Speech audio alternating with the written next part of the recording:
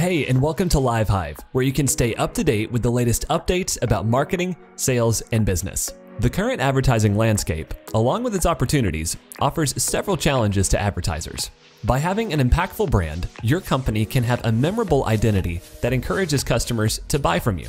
Your branding also supports your marketing and advertising efforts, as well as bring pride to your employees. All of these benefits can only come from building an impactful brand. Today, we'll be looking at the steps to create an impactful brand message. We have more interesting content for you, so don't forget to subscribe to LiveHive for more great videos. Just one click on the bell icon and stay with us. Now let's begin with how to create an impactful brand message. Number one, identify your target audience. If your brand can't resonate with your audience, your branding effort won't lead to awareness, trust, and sales. This is where the target audience comes in. You will find that the competitive advantage when building a brand is narrowing your target audience. With a more narrow audience, you can assure that your brand message reaches your audience crystal clear. So the first thing to do is research your target audience, who your brand will interact with. Who does your product serve? Why did you create your business? Who is your ideal customer? It's important to be specific. Find out the detailed behavior, lifestyles, and needs of your customers. What you learn about your target audience will influence your branding decisions later, so make this step a top priority. Number two, establish a mission statement. Every successful brand has a powerful mission to pursue, and so should you. It's what you love to do for others through your product or service. You should ask yourself four questions when defining your brand's mission. Why does your company exist? What problem can you solve? What's different about your product or service? And lastly, why should anyone care? Your mission statement should cover why your organization exists and why people should care about your brand. If you can convey the purpose your business offers, every part of your brand, like your logo, image, tagline, voice, and personality, can reflect your mission to the audience. Number three, outline your brand's values and benefits. There will always be brands with more resources and bigger budgets to dominate the industries.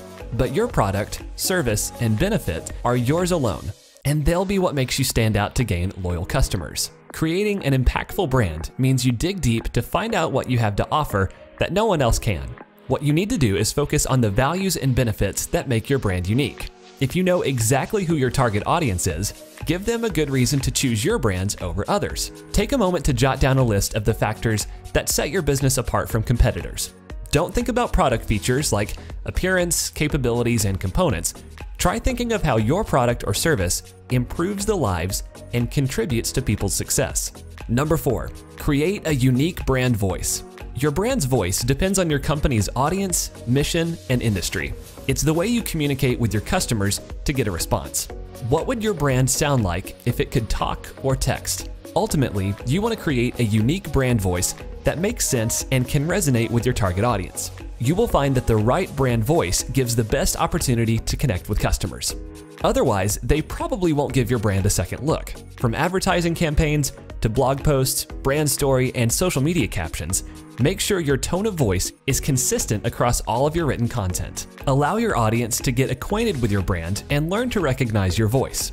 A community of readers, subscribers, and followers will expect a certain brand voice when they consume your content. Number five, build brand visual assets. At this point, you've understood your target audience, your mission statement, values, and unique brand voice that make up your business. If you can confidently say that you've mastered the previously discussed steps, it's time to move on to our next part of branding, visual design.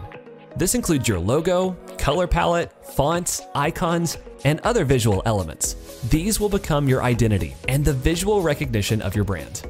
As you create these elements, build a set of branded guidelines to let your employees know how to use your visual content. This will also ensure that anyone using your brand's visual assets, such as designers and agencies, can do it correctly. Consider hiring a professional when designing your virtual assets. Number 6. Integrate branding into every aspect. After you finish designing and creating a new brand, it's time to integrate it into every aspect of your business. Pay close attention to ensure it's displayed whenever your business comes into contact with customers. Your brand should be visible in everything your audience can read, see, or hear. From business cards to advertisements, products, and packaging, they all need to have at least your logo. On other digital platforms, make sure your brand has a uniform look. Your branding guidelines will help create consistency in visuals with the usage of colors, logos, fonts, photography, and more. And don't forget to use videos. YouTube, Facebook Video, Facebook Live, Instagram Stories, and Snapchat are all platforms that need platform relevant content that projects your unique brand voice and personality. For those who want to try podcast audio, use themes and topics that support your brand's message, values, and mission. Number seven, keep a consistent brand image.